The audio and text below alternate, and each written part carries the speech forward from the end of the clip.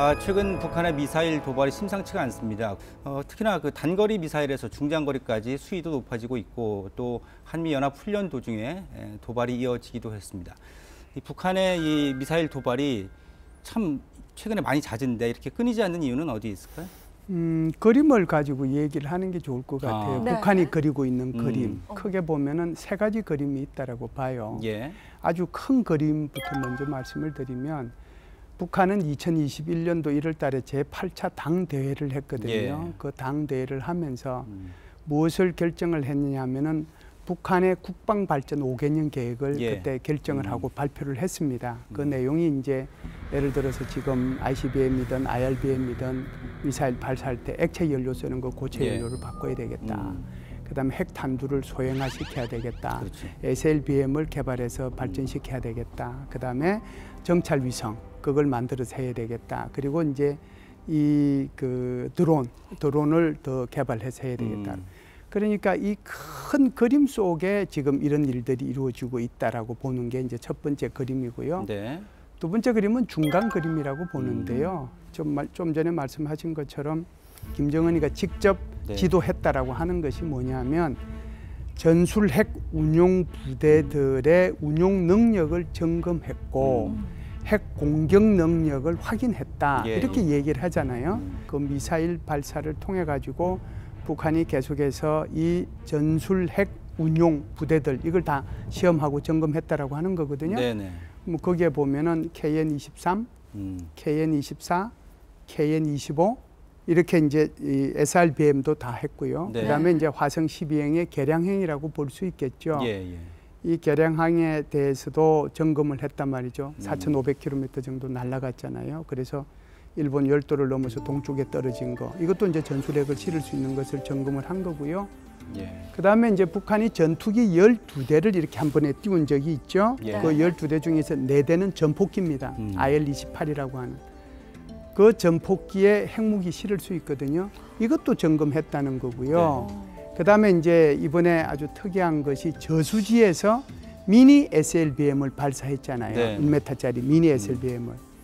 이게 이제 여섯 종류잖아요. 예. 이런 여섯 종류를 전부 다 확인을 한 거거든요. 그래서 이렇게 미사일 쏜 것이 바로 전술 핵 운용 부대들에 대한 전체적인 점검. 음. 여기에 이제 두 번째 그림이 있고요. 세 번째 그림은 대응 차원에서 좀 음. 봐야 됩니다. 아주 미세한 차원이죠. 한미 연합 훈련이 있었고 네. 한미일 연합 훈련이 있었고 그리고 이제 우리는 한국은 10월 1일 날 괴물 그 미사일이라고 하는 그 해무 5도 공개도 했잖아요. 그랬죠. 동영상으로. 여기에 대한 대응 차원이죠. 음. 아. 그러니까 거기에 대한 대응 차원에서 이렇게 쏘았다. 그래서 음. 큰 그림, 중간 그림, 작은 그림을 보면 음. 퍼즐이 딱 맞아요. 네, 어. 네. 그런데 이제 북한의 도발이 나올 때마다 얘기가 되는 게 아, 체제 얘기입니다. 이 김정은 음. 체제가 흔들릴 때마다 이렇게 도발이 이루어지는 것은 아니냐. 그래서 지금의 김정은 체제가 조금 우려스러운 것은 아닐까? 이런 지적이 조금 있는데 이건 어떻게 봐야 음, 될까요? 저는 이제 오히려 반대로 좀 음. 생각을 하고요. 북한에 이제 김정은 위원장이 들어서서는 계속해서 열병식을 많이 해요. 예, 예. 일년에 통상 두 번 정도 열병식 했거든요. 그 얼마나 많은 거기에 자원이 투입이 되고 음. 사람들이 거기에 고통을 받겠습니까? 그렇죠. 군인들뿐만 아니라 민간인들도 다 동원이 되니까요. 그래서 이런 것들을 이제 계속 동원을 해서 보여 열병식을 하고 보여주고 그다음에 미사일을 쏴서 보여주는 건 뭘까요? 음. 체제의 공고화를 위해서 예. 주민들을 갖다 단결시키는 것, 음. 것이거든요. 네, 네. 보여줄 게 없으니까 그거라도 보여줘야 되는 거죠. 그러니까 우리가 이 정도의 이제는 억제력을 갖고 있고 그러니까 주민들 걱정하지 말아라. 예. 그걸 가지고 이제 계속해서 얘기하니까 체제의 안정을 오히려 음. 도모하는 데 도움이 되는데요. 질문하신 원래의 핵심 자체를 이렇게 보면 사실상 이것 자체가 나중에 체제를 위협하게 되는 거예요. 왜 역으로. 그러냐면 자원은 한정돼 있잖아요. 국가 예산도 한정이 돼 예, 있고요. 그래서 그 자원이 어떤 것은 인프라를 투자하고 어떤 것은 과학 기술을 개발시키고 어떤 것은 복지로 넘어가고 어떤 것은 교육에 투자하고 그렇죠. 이렇게 이제 분야별로 뭐 차이는 있지만 이렇게 가야 되는데 네, 네. 북한 같은 경우는 예산도 얼마 안 되는데 그 중에 한 4분의 1 정도를 갖다가 국방 예산에 쓴단 말이죠. 편중돼 있죠. 예. 그러면은 국방을 발전시켜서 안보를 도모하겠다라고 하는 것이 오히려 인프라나 국민의 복지나 굶어 죽는 그런 상황이 되면 이것이 오히려 체제를 위협하게 되는 거죠. 예, 예. 그래서 아, 단기적으로 보면 이런 것들이 체제를 공고하는 데 도움이 되나 장기적으로 이런 자원의 불균형된 그런 배분이 계속적으로 이루어지게 되면 네. 이것이 주민들의 불만으로 이루어져서 음. 장기적으로는 체제의 불안정을 초래하는 그런 것이 될 수 있다 이렇게 네. 보지요. 교수님 저는 궁금한 게 네. 북한은 왜 꼭 미사일을 선택해서 도발을 하는 건지 음. 사실 미사일 하나 발사할 때 음. 드는 비용도 어마어마한 걸로 알고 있거든요. 근데 예. 어느 정도죠? 음, 이거는 이제 한국에서 이걸 추정한 학자는 없는 것 같고요. 네. 미국에서 이제 이걸 추정한 학자들이 뭐 이제 연구소마다 좀 다르긴 한데 몇 팀이 있어요. 그래서 올해 1월 달부터 어 그러니까 이번 저기 9월 25일 이전까지 음. 이렇게만 보면 그 들어간 비용이 한 8천억 정도, 예. 8천억 와. 원 정도. 와. 예. 북한이 지금 그 8천억 원 정도 되면 어느 정도의 식량을 이제 국제 시세로 살 수 있느냐 하면 한 150만 톤 정도 살수 와. 있거든요. 음. 네. 북한의 식량량이 올해 얼마 정도 부족할 건가? 음. 이거 각자마다 조금 차이는 있어요. 네. 작게는 80만 톤, 많게는 120만 톤이 부족할 아. 거라고 하는 예. 거거든요. 네. 그런데 제가 좀 전에 말씀드렸다시피 지금 8천억 원 정도면 150만 톤 정도 살 수 있어서 자기 모자라는 식량을 가지고 주민들 먹일 수 있는데 그렇죠. 그것을 미사일을 이렇게 발사하는 데 다 날려버린단 어. 말이죠. 그래서 이게 장기적으로 보면은 결국은 북한 체제를 음. 더 어렵게 더 위험에 빠뜨리게 하는 그런 요소가 되는데 글쎄요 이거 뭐 김정은 위원장이 자기만 살고 주민들은 죽든 말든 난 뭐. 관계 없겠다 네. 그런 생각을 하- 하고서 지금 계속 이렇게 나가는 거거든요. 어.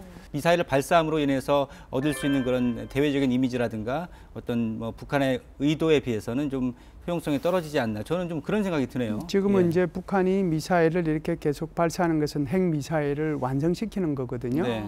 북한이 가지고 있는 기본적인 생각은 이런 거예요. 우리는 핵 보유 국가니까 이제 우리 건드리지 말아라. 음, 여기까지는 이해할 수 있어요. 그나마 백번 양보를 해서 이것은 이제 핵 억제력에 관계되는 문제인데 북한은 지금 김정은이가 거기 10월 10일 날이죠. 10월 10일 날 노동신문을 통해서 쭉 얘기한 거 보면 네. 핵 공격력을 강화한다는 거잖아요. 음, 네. 네네. 그핵 공격력 강화는 뭐예요? 전술핵 무기를 가지고 핵 공격력을 강화해서 남한을 어떻게 하겠다는 거예요? 공산화 시키겠다는 거예요. 그 음. 의지가 그 속에 들어 있는 거죠. 그러다 보니까 이제 우리도 거기에 대한 경각심을 가져야 되는 거고 네. 북한은 뭐 주민들이 죽든 살든 관계없이 네. 체제는 유지해야 되겠다. 그리고 내 위주로 그러니까 공산주의식으로 음. 한반도를 통일해야 되겠다. 그 생각을 계속 가지고 있는 거죠. 그러니까 네네. 돈이 아무리 들어도 나는 거기에 투자하겠다는 생각을 김정은 위원장이 지금 갖고 있는 것이죠. 네.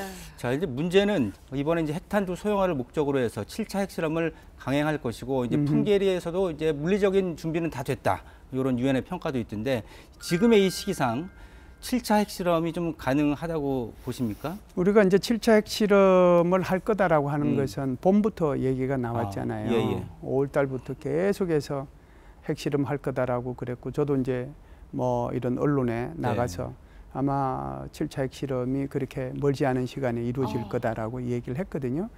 그게 이제 소위 말해서 38 로스로부터 시작해서 공개된 첫 번째 오신트를 통해 가지고 다 음. 공개가 됐고 네. 미국의 국무부 국방부 대변인 그리고 심지어 한국의 국정원 원장까지도 이제 표현을 하면서 아 이제 곧 이제 7차 핵실험 할 거다 이렇게 얘기를 했단 말이죠. 네. 그왜 안 했을까요 지금까지? 이제 여기에 에, 우리가 한번 생각을 해보고 그 이제는 적절한 시기가 됐는지 음. 그걸 이제 제가 말씀을 드릴 텐데요.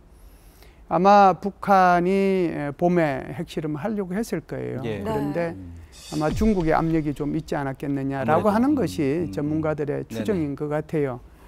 아이 제20차 공산당 대회를 앞두고 나서 주변이 시끄러우면 음. 그렇지 않아도 이 코로나 때문에 시끄러워 가지고 네. 전체 어. 코로나 제로 정책을 쓰고 있는데 예. 안 되겠다. 너 지금 핵실험 하면은 곤란하니까 핵실험 음. 하지 말아라.